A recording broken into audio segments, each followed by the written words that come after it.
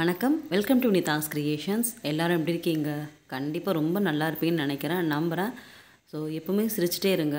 ஹாப்பியாக இருங்க. சந்தோஷமாக இருங்க. Be positive and spread positivity இன்றைக்கி என்ன விலாகுன்னு பார்த்தீங்கன்னா ஒரு நார்மல் ரொட்டீன் விலாக் தான் நான் அவங்க கூட ஷேர் பண்ணிக்க போகிறேன் ஃப்ரெண்ட்ஸ் எப்பவும் போல் வீடியோவில் பார்த்தீங்கன்னா மோட்டிவேஷனல் டிப்ஸ் அதுக்கப்புறம் ரெசிபிஸ் எல்லாமே உங்களுக்கு இருக்கும். வாங்க நம்ம டக்குன்னு வீடியோக்குள்ளே போயிடலாம். டெய்லி கேலண்டரில் காலையில் டேட் கிளிக்கும்போது என்னுடைய ராசி வந்து ரிஷபம் ராசி. அதுக்கு என்ன போட்டிருக்காங்க அப்படின்ட்டு பார்த்துட்டே இருப்பேன். அதை நம்ப மாட்டேன் நான் பெருசாக இருந்தாலும் அதில் ஒரு க்யூரியாசிட்டி என்ன போட்டிருக்காங்க அந்த மாதிரி. ஸோ அன்றைக்கி வந்துட்டு அஞ்சாந்தேதி ஆறாந்தேதி சம்திங் தான் இருந்துச்சு டேட்டு ரிஷபத்துக்கு வந்து லாபம்னு போட்டிருந்தாங்க.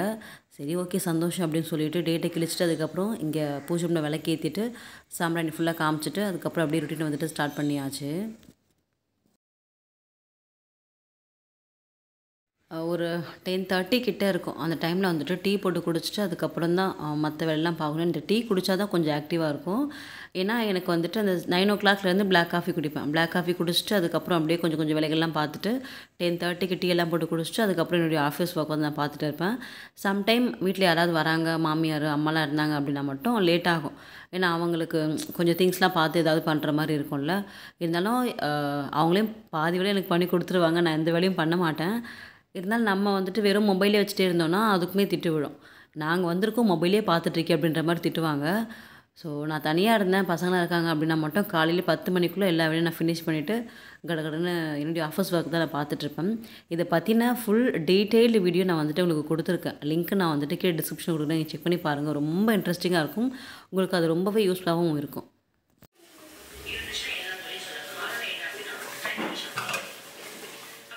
நான் வந்துட்டு எனக்கு இந்த மோட்டிவேஷ்னல் வீடியோலாம் மோஸ்ட்லி நான் நிறைய பார்ப்பேன். இப்போது நம்ம ஒரு மைண்டில் இருக்கோம் நமக்கு வந்துட்டு ஏதாவது ஒன்று நடக்கணும் நம்ம மைண்ட் வந்துட்டு டக்குன்னு சேஞ்ச் ஆகணும் அப்படின்போது நம்ம இந்த மாதிரி மோட்டிவேஷ்னல் வேர்ட்ஸ்லாம் அதாவது மோட்டிவேஷன் வேர்ட்ஸ்லாம் பார்க்கும்போது நமக்கு அது டக்குன்னு மாறும். நீங்கள் அதை பார்த்துருக்கீங்களான்னு தெரியல. நம்ம ஒரு விஷயம் பார்க்கணும் அப்படின்னா அதை பற்றி தான் நம்ம மைண்டே இருந்துகிட்டே இருக்கும்.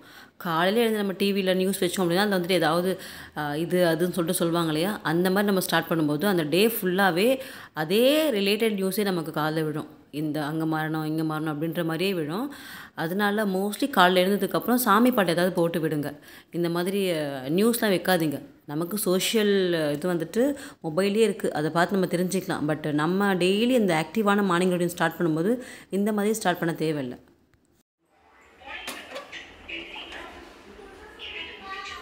ஸோ காலையில் எழுந்ததும் ஃபஸ்ட்டு சாமி பாட்டு ஏதாவது போட்டு விட்டீங்க அப்படின்னா நல்ல ஆக்டிவாக உங்களுக்கு டே வந்துட்டு ஸ்டார்ட் ஆகும். அதுக்கப்புறம் சாமி பாட்டு உங்களுக்கு பிடிச்ச சினிமா பாட்டு ஏதாவது கேளுங்க. நல்ல மோட்டிவேஷ்னலாக இருக்கிற மாதிரியான கேட்டிங்கன்னா இன்னும் உங்களுக்கு வந்துட்டு பூஸ்டப் கிடச்ச மாதிரி இருக்கும். நான் ஸ்கூல் படிக்கும்போது எங்கள் சார் ஒருத்தர் இருக்கார். அவர் பேர் அண்ணாமலை.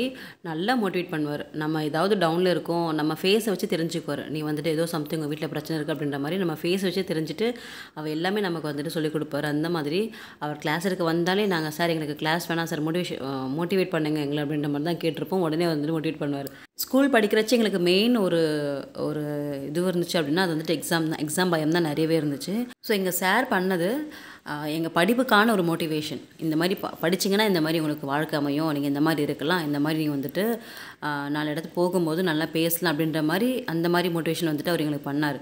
ஆனால் நம்ம லைஃபுக்கு வந்துட்டு நம்ம அனுபவம் நம்ம வாழ்க்கையில் ஒன்று ஒன்று நடக்குது இல்லையா அந்த மாதிரி நம்ம நடந்து தெரிஞ்சுக்கிட்ட விஷயங்கள் நமக்கு வந்துட்டு ஒரு மோட்டிவேஷனாகவே இருக்கும்.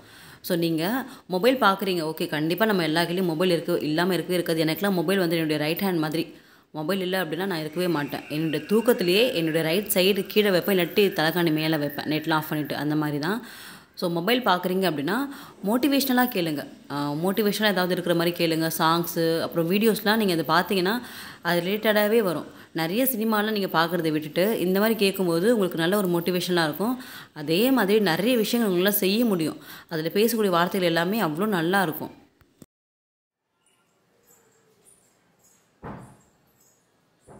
இன்னொன்று என்னென்னா நம்ம வந்துட்டு நம்மளை யாராவது மோட்டிவேட் பண்ணிகிட்டே இருக்கணும் அப்படின்ற மாதிரி நம்ம திங்க் பண்ணிகிட்டே உட்காரக்கூடாது.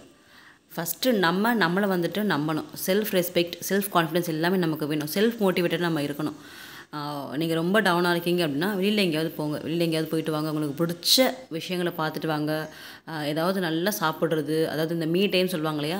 அந்த மாதிரி நீங்கள் பண்ணும்போது நீங்கள் வந்துட்டு இன்னுமே ஒரு அப்பா அப்படின்ற மாதிரி ஒரு அந்த அடைச்சி வச்ச நிலையிலேருந்து நீங்கள் வெளியில் வர முடியும்.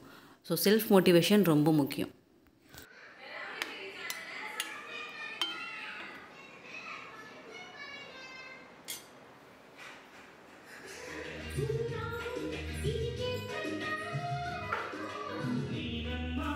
இன்னொரு முக்கியமான விஷயம் என்னென்னா உங்களை வந்துட்டு எப்போவுமே பிஸியாக வச்சுக்கோங்க. நீங்கள் பிஸியாகவே இருந்துட்டீங்கன்னா கொஞ்சம் கூட டைமே இல்லை.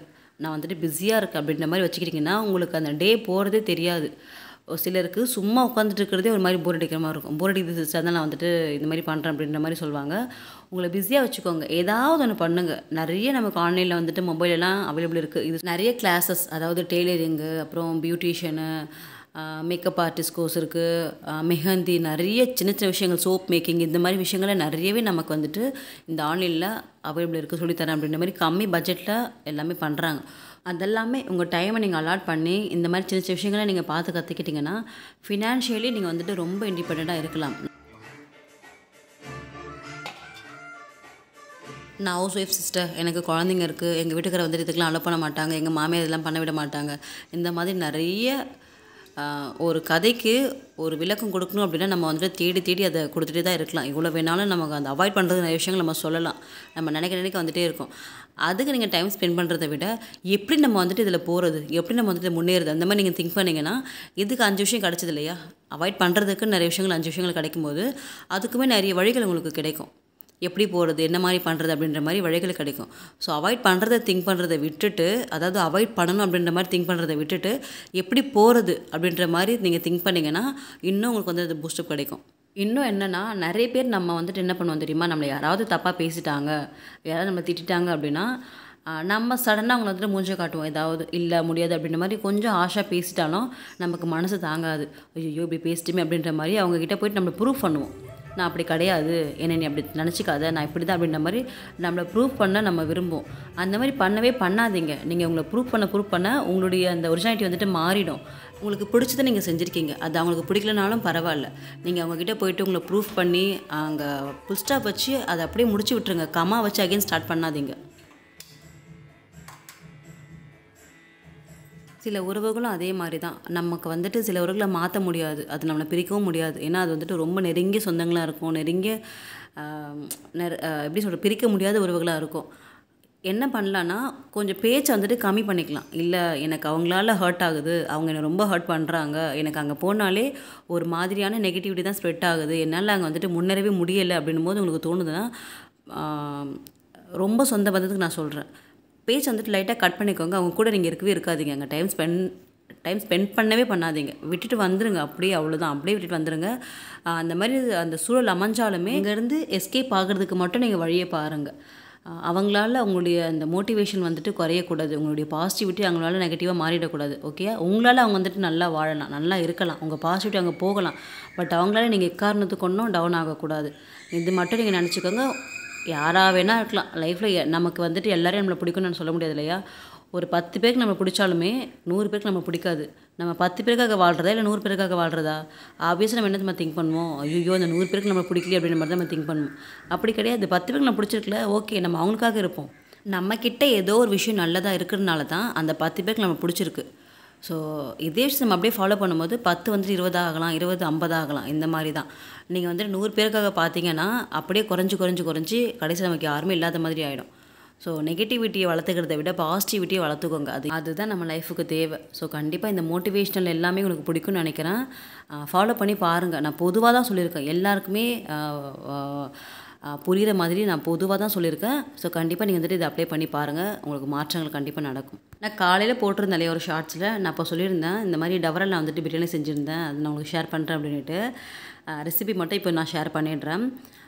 டவரா வந்துட்டு நல்லா பெருசாக ஒரு கிலோ அப்படின்னா நீங்கள் வந்துட்டு ஒரு டூ கேஜி இருக்கிற மாதிரி டவர் எடுத்துக்கோங்க. நல்லா ஸ்பேஷியஸாக இருக்கணும். நல்லா சாதம் வந்துட்டு வெந்து பொங்கி வர்றதுக்கு.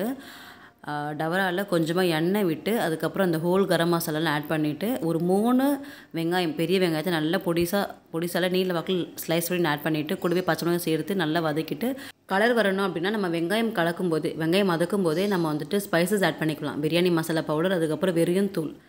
தனி மிளகாய்த்தூள் அதை ஆட் பண்ணி நல்லா வதக்கிட்டு தக்காளி ஒரு ரெண்டு ரெண்டு நார்மல் சைஸ் தக்காளி ஆட் பண்ணியிருக்கேன்.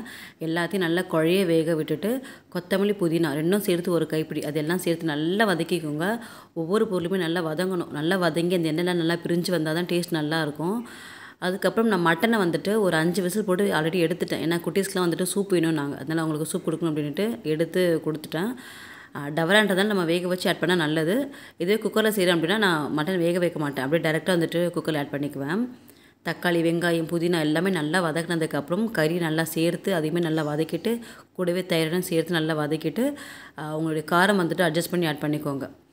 அதுக்கப்புறம் பார்த்தீங்கன்னா தண்ணி. நான் இந்த டம்ளரில் தான் வந்துட்டு அரிசி அளந்தேனே. ரெண்டு டம்ளர் அளவுக்கு நான் அரிசி எடுத்தேன். Basmati rice one is to one and half அந்த ரேஷியோ எனக்கு கரெக்டாக இருக்குது டவரால் செஞ்சாலும் சரி குக்கரில் செஞ்சாலும் சரி இந்த தண்ணியோட அளவு எனக்கு கரெக்டாக இருக்கும். தண்ணி நல்லா ஆட் பண்ணி நல்லா கலந்து கொடுத்துட்டு uh, ஒரு கொதி மட்டும் வரட்டும். நிறைய கொதிக்க வச்சிங்க அப்படின்னா தண்ணி வந்துட்டு அளவு கம்மியாயிடும். அப்புறம் நமக்கு அரிசி வந்துட்டு ஒரு மாதிரி நெருக்கரைஞ்ச மாதிரி ஆகிடும் வேகாது.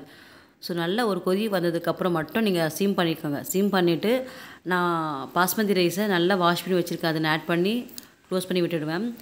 அரிசி ஆட் பண்ணிவிட்டு உப்பு செக் பண்ணிக்கோங்க. உப்பு வந்துட்டு உப்பு காரம் எல்லாமே கொஞ்சம் தூக்கலாக இருந்தால் தான் நமக்கு அரிசி வெந்து சாதமாக வரும்போது கரெக்டாக இருக்கும்.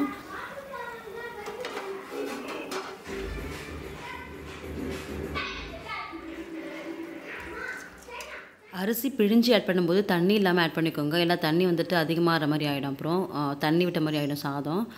ஸோ ஒரு டம்ளர் அளவுக்கு one is to one and half இதுதான் ரேஷியோ இதுவே நீங்கள் வந்துட்டு பொன்னி அரிசி வீட்டில் வீட்டில் கூடிய அரிசி செய்கிறீங்க அப்படின்னா ஒன் ஈஸ்ட் டூ இது கரெக்டாக இருக்கும். நீங்கள் இது மாதிரி செஞ்சு பாருங்களேன். செம்ம டேஸ்ட்டாக இருக்கும். அதுவும் பிரியாணினாலே நமக்கு மட்டன் தான். என்ன தான் சிக்கன்லாம் போட்டு செஞ்சாலுமே இந்த மட்டன் டேஸ்ட்டுக்கு பிரியாணி வந்துட்டு அவ்வளோ டேஸ்ட்டாக இருக்கும். ஸோ நான் அரிசியெல்லாம் போட்டுட்டு அதுக்கப்புறம் கொஞ்சம் வேலைகள்லாம் இருந்துச்சு. கொஞ்சம் பாத்திரம் தேய்க்கிறது அதுக்கப்புறம் சமையலுக்கு யூஸ் பண்ண அந்த திங்ஸ் எல்லாமே அகெயின் ஃப்ரிட்ஜில் எடுத்து வைக்கிறது இதெல்லாம் ரீஃபில் பண்ணுறது இந்த மாதிரிலாம் பண்ணிகிட்டு இருந்தேன். ஏன்னா நம்ம நின்றுட்டே இருக்கும்போது எல்லாமே பண்ணால் தான் டக்குன்னு முடிச்சுட்டு வெளியில் வரலாம். வெயில் நமக்கு அவ்வளோவா தெரியல. இந்த வீட்டில் அவ்வளோவா வெயில்லாம் தெரியல எனக்கு. எப்பவும் போல தான் இருக்கிற மாதிரி இருக்குது ஏன்னா நீங்கள் பார்க்கும்போதே தெரியும். நம்ம கிச்சன் வந்துட்டு நல்லா ஸ்பேஷியஸாக இருக்கும். விண்டோஸும் பெருசு பெருசாக இருக்கிறதுனால நமக்கு காற்று வசதி வெளிச்சம் எல்லாமே இருக்கும். ஸோ அந்தளவுக்கு புழுக்கமாக இருக்க மாதிரிலாம் இருக்காது. நல்லாவே இருக்கும். அங்கே முன்னாடி இருந்தோம் இல்லையா? அங்கே வந்துட்டு மதியம் நின்று சமைக்கவே முடியாது. அவ்வளோ வெக்கையாக இருக்கும். ஒரு மாதிரி கிச்சனுக்குள்ளே போனாலே நனைஞ்சு தான் வர மாதிரி இருக்கும்.